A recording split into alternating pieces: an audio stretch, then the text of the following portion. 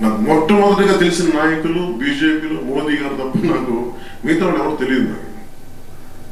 అప్పుడు చెప్పాను నేను నేను ఏ రోజు కూడా ప్రధానమంత్రి గారు కాకముందు వచ్చినవాడు నేను. ఆయన భవిష్యత్తు ధృవతారు ఆయన భారతదేశానికి అది గుర్తించి వచ్చినవాడిని నేను. ఆయన్ని వెంట నడుస్తాను. ఆ రోజు దక్షిణ భారతంలో మొట్టమొదటిగా వచ్చింది నేనే. వస్తే నన్ను ఎన్ని రకాలుగా వెటకారాలు తిట్లు తిట్టారు నన్ను నన్ను ఛాందసవాదం అన్నారు మతవాదం అన్నారు ఈ రోజున దేశం అంతా నిరాశనాలు పడు పలుకుతా ఉంటే ఇప్పుడు అందరూ కామంగా కూర్చున్నారు. అంటే నేను ఎప్పుడు రిస్కులు తీసుకున్నాను అని చెప్పాను. అంటే నేను ఒక నాయకుడిని నమ్మితే నేను చాలా చిత్తశుద్ధిగా నమ్మేస్తాను. ఓకే మోడీ గారిని మోడీ గారు భవిష్యత్తు ద్రోతారని చెప్పి ముందే గ్రహించేశాడంట పవన్ కళ్యాణ్. గ్రహించేసి రెండు వేల పద్నాలుగులోనే మొట్టమొదటి అసలు మోడీ గారు జెండా పట్టుకున్నాడంట. సో మోడీ గారు తప్ప ఈయనకి ఎవరో తెలియదంట. సో మోడీ గారు మరి బాగా ధృవతారని నమ్మినప్పుడు మరి రెండు వేల పంతొమ్మిది ఎన్నికలప్పుడు ఇదే మోడీని పాచిపోయిన లడ్లు ఇచ్చాడు. ఈ దక్షిణ భారతదేశం వాళ్ళని కుక్కల్లాగా చూస్తున్నాడు నరేంద్ర మోడీ. ఈ భారతీయ జనతా పార్టీ దక్షిణ భారతదేశం వాళ్ళని కుక్కల్లాగా చూస్తుంది. దాంట్లో నన్ను కూడా అలానే ఒక కుక్కలాగా చూశారు. అందుకని నేను అక్కడి నుంచి బయటకు వచ్చా. వీళ్ళు ఎన్నికలు వచ్చినప్పుడల్లా యుద్ధాలను తీసుకొని వస్తారు. ఎన్నికలు ఎప్పుడు వస్తే అప్పుడు యుద్ధాన్ని తీసుకొని వచ్చి ఏదైతే ఆ యుద్ధంతో గెలవాలని అనుకుంటారు. అని చెప్పి నువ్వే కదా మళ్ళీ మోడీ గారి గురించి మొన్నటిదాకా మాట్లాడండి అసలు నువ్వు మొన్న ఏం మాట్లాడావు తర్వాత ఏం మాట్లాడావు మర్చిపోతావు? ఏమన్నా ఏదన్నా ఒక రోగం ఉందా? నీకు మామూలుగా వేరే రోగాలు ఉంది. నిజీవితంలో నీకు రోగం ఏంటంటే ఒకళ్ళని పెళ్ళి చేసుకుంటావు వాళ్ళకి విడాకులు ఇవ్వకుండా ఇంకోళ్ళతో కాపురం చేస్తావు. మామూలుగా అయితే ఎవరైనా పెళ్ళైనా పిల్లల్ని పుట్టిస్తారు. సాంప్రదాయం మామూలుగా అయితే. పెళ్ళి చేసుకున్న పిల్లలు కంటం అనేది భారతదేశ సాంప్రదాయం.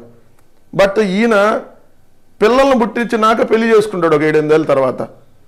ఎందుకంటే రేణు దేశాయ్ గారిని ఏ రేణు దేశాయ్ గారితో అఖిరానందన్ పుట్టినాక ఐదు ఆరు సంవత్సరాల తర్వాత ఎప్పుడు పెళ్ళి చేసుకున్నాడు. సో నీ జీవితంలో నీకు అట్లాంటి రోగాలు చాలా ఉన్నాయి. సో ఇప్పుడు రాజకీయ జీవితంలో కూడా నీకు రోగాలు ఏంటంటే నిన్నేం మాట్లాడావు రేపేం మాట్లాడుతున్నావు పూర్తిగా మర్చిపోతావు. మర్చిపోయి ఓ రోజు వాళ్ళని పొగుడుతూ ఓ రోజు తిడతావు ఓ రోజు కులాలను కలుపుతానంటావు కులాలను విడగొట్టా అంటావు మీకు పౌరుషం లేదని అంటావు ఓసారి నేను ముఖ్యమంత్రి అంటావు ఒకసారి పక్కాడు ముఖ్యమంత్రి అంటావు నా మొహానికి ఎవడిస్తాడు ఎమ్మెల్యే సీట్ ఇవ్వలేదు నాకు ముఖ్యమంత్రి ఎవడిస్తాడు అసలు ఏం మాట్లాడతావు? కనీస అవగాహన ఉండదు. రెండు వేల ఎనిమిదిలో వచ్చావు పదహారేళ్ళు అయింది అందుకని ఏడిసావు ఇంకా కూడా ఈ సొల్లు కబుర్లు ఆపి ఏదన్నా ప్రజలకు ఉపయోగపడేది చెప్పు అంతే తప్ప రోజుకి సొల్లు కబుర్లు ఇవన్నీ చెప్తే ఉన్న నీ జనసేనలో ఆల్రెడీ కొట్టుకుంటున్నారు వాళ్ళు. వాళ్ళు జనసేనలో వాళ్ళు వాళ్ళు కొట్టుకుంటున్నారు వాళ్ళని తెలుగుదేశం వాళ్ళు కొడుతున్నారు.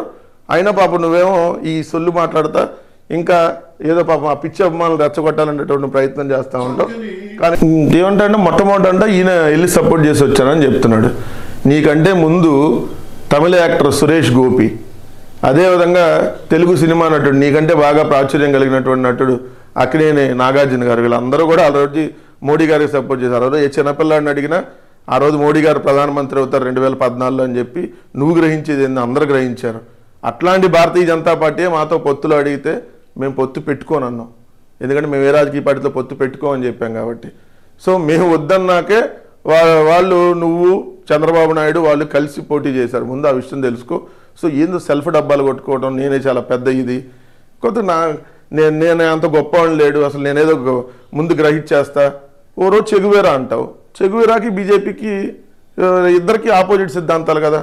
నువ్వు మరి మోడీ దగ్గర ఒక రోజు ఉండి మళ్ళీ కమ్యూనిస్ట్ పార్టీలతో పొత్తు పెట్టుకున్నావు. నాకు తెలిసి భారతీయ జనతా పార్టీతో కమ్యూనిస్టులతో పొత్తులు పెట్టుకున్నటువంటి వాటి నువ్వు చంద్రబాబు నాయుడు ఉంటారు. ఎందుకంటే రెండు విభిన్న పార్టీలు రెండు వాళ్ళ ఇద్దరికి ఎప్పుడు కలవదు. కానీ ఆ పార్టీలతో కూడా భారతీయ జనతా పార్టీ తెలుగుదేశం జనసేన పొత్తులో వెళ్ళినాయి. భారతీయ జనతా పార్టీ తెలుగుదేశం పొత్తులో వెళ్ళినాయి. భారతీయ జనతా పార్టీ జనసేన పొత్తులో వెళ్ళారు. మళ్ళీ జనసేన కమ్యూనిస్టులు పొత్తులో వెళ్తారు. మళ్ళీ కమ్యూనిస్టులు చంద్రబాబు నాయుడు పొత్తులో వెళ్తారు.